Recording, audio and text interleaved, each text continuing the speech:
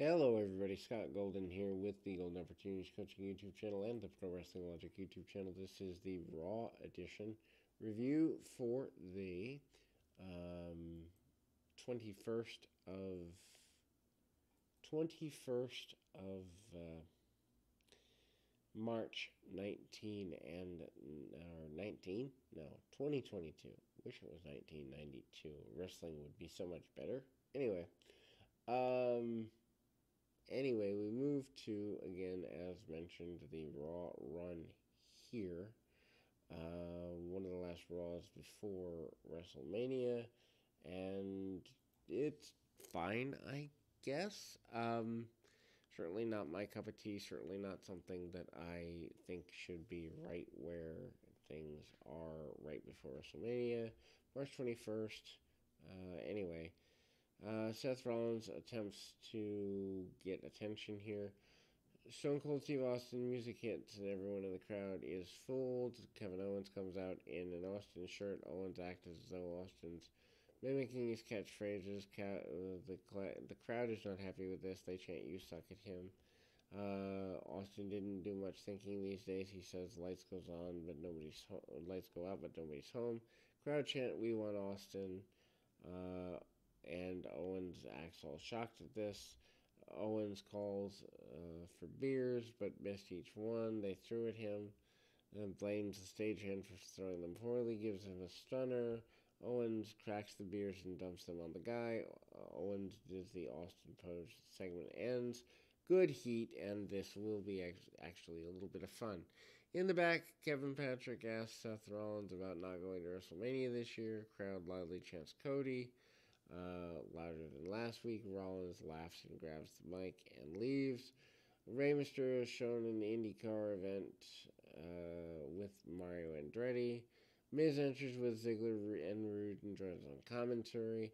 Raw and Dominic Mysterio, def- uh, Rey and Dominic Mysterio defeat uh, Dolph Ziggler and Robert Roode. 929. Minute in the match, uh, they both the babyfaces hit dive. Seth Rollins' music hits and he comes into the stage. Rollins then warns that he wanted to spot at WrestleMania and said he wanted something even bigger than Austin. Microphone keeps cutting out like they're trying to shut him up.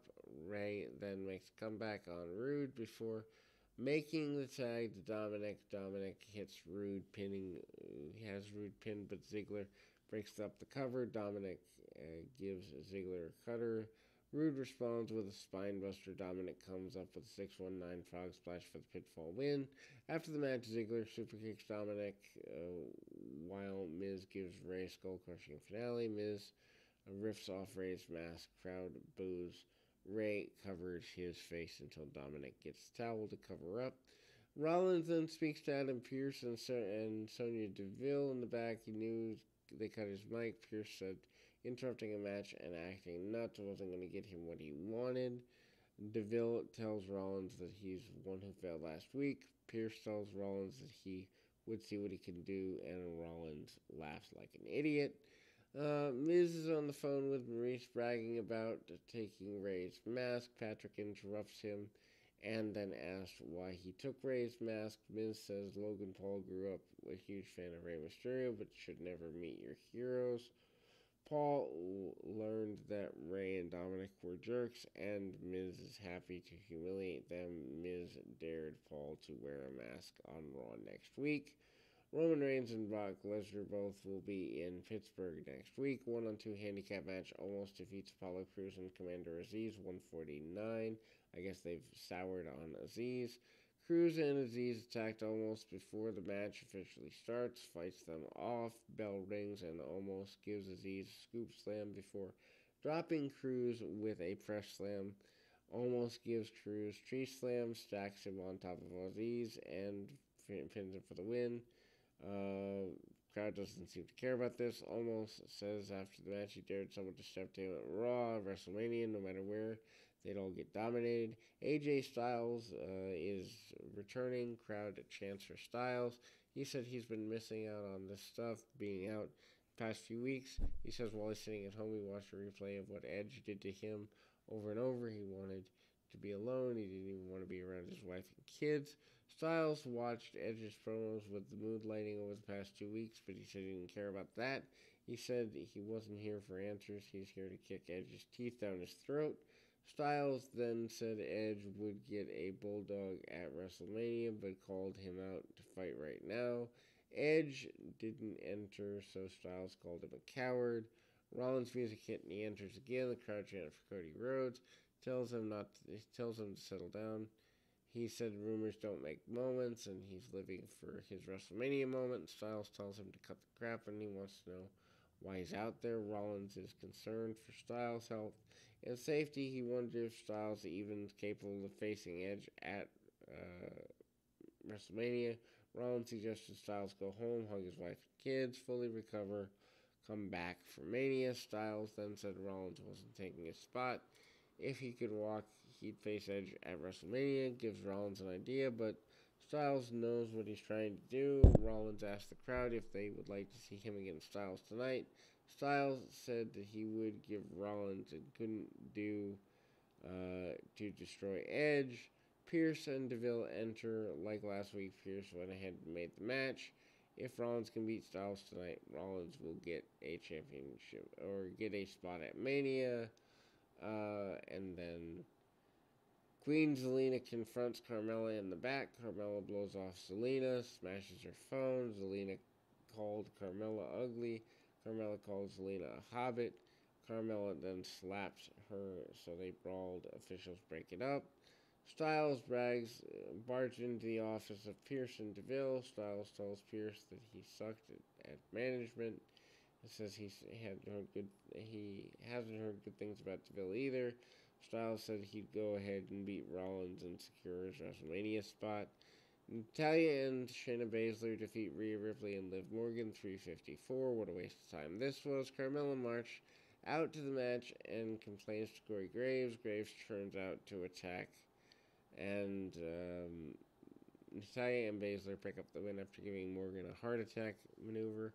After the match, Zelina then attacks Ripley for from beating from behind with kendo stick. Carmella then shoves Natalya into the steel steps before taking out Baszler with a super kick. Carmella and Zelina teased another confrontation. They hug, they smile, and they're on the same page after all. Becky Lynch cuts a promo. Uh, ponders a question what does it profit a man to gain the world lose their soul? Lynch recalled many months ago she's holding the championship belt not because she lost it, but because she was forced to surrender it. Lynch knew that she would do whatever it took to gain the championship, and holding it meant everything to her. Belair doesn't have what it took to beat her. Belair couldn't damage her throat, but uh, Lynch damaged her worse. Belair hurt her by accident. Lynch hurt her deliberately. Lynch comes out here to take Belair's hair, but Belair wasn't here tonight. Belair couldn't risk losing her soul, but Lynch already sold hers. Lynch would show Belair what she stood for to profit WrestleMania if Belair can make it. Uh, Sarah then asked Austin Theory about Pat McAfee's apology on SmackDown. Theory called McAfee a dumb jock who has no business stepping in the ring with him. Theory said he could talk to Mr. McMahon and McAfee wouldn't even have a commentary job anymore. Uh, Sarah also asked about the match tonight. Theory said that he's running out of uh, storage on his phone because of the, the post beatdown selfies he has had with with Finn Balor. He planned on taking one more tonight. Veer is coming to Raw on April 4th. He actually has a date now. Anyway, Pat McAfee enters, joining on commentary. U.S. champ Finn Balor defeats Austin Theory non-title match. McAfee repeatedly distracts Theory till Balor pins him with a small package. After Theory falls out of the ring. McAfee mocks him, makes his own weird version of a cross chop. Balor drops Theory into the barricade, which leads to uh, in control after the break. McAfee then rallies the crowd behind Balor. Balor comes back with a running forearm and a double foot stomp. Theory then rams Balor into the announce table and issues a warning to McAfee. Balor responds by smashing Theory's head repeatedly into the announce table. Balor then goes to the coup de grace, but Theory dodges it. McAfee distracts Theory, and the crowd chants for McAfee. McAfee distracts Theory and Balor rolls him up to get the win. Uh, they then go to the third hour. This show feels really wrong. Long they they show Rob Gronkowski attacking Jinder Mahal at WrestleMania 2017. Um, then they go to Chad Gable doing a pre-match promo, doing his usual stuff. Raw Tag Champs Randy Orton and Riddle defeat Alpha Academy non-title match, seven minutes thirty-eight seconds. Otis runs over Riddle on the outside, leading to the break. Two minutes into the match, why even do matches if you're not going to care about them? Riddle makes a hot tag, and they return from break. Orton gives Gable a power slam. Otis then got in the way. Orton decks him before giving Gable a draping DDT. Gable counters and RKO hits German suplex. Riddle then has the blind tag managed. Uh, Gable then tries giving Riddle German suplex. Riddle flips over and hits the Bro Derek for the pinfall win. Post match, Otis knocks Orton over the barricade, then gives Riddle a Vader bomb. And the Street Profits wearing Bulls themed merchandise comes out, and then the Street Profits clear things, including Montez Ford hitting a uh, frog splash. They congratulate Gable Steves- Steveson on winning the NCAA championship.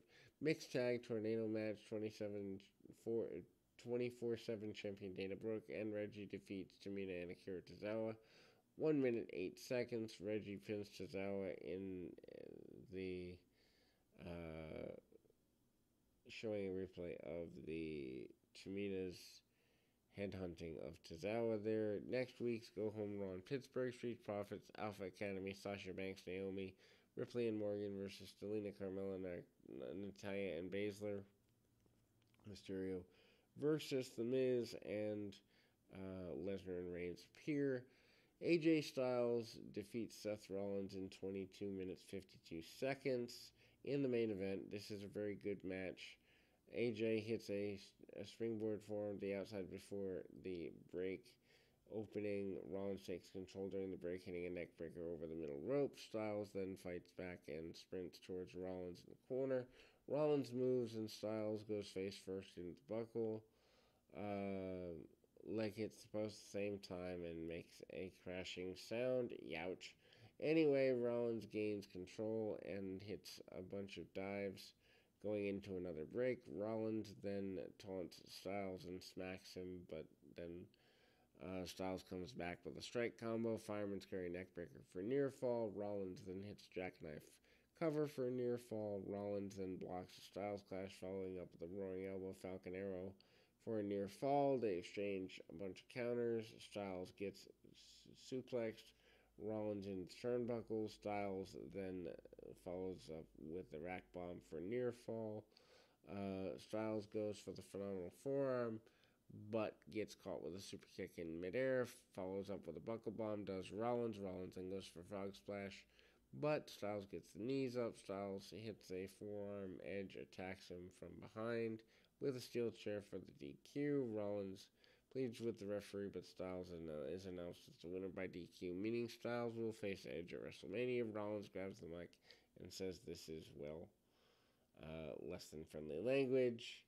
Uh, Rollins then said Raw won't happen next week unless he gets a WrestleMania match, and then he throws a tantrum around ringside. Good show closing segment, but I'm not sure why Seth Rollins is where you're closing it. He, they don't really care about him that much, do they? Anyway, we'll be back with more right after this.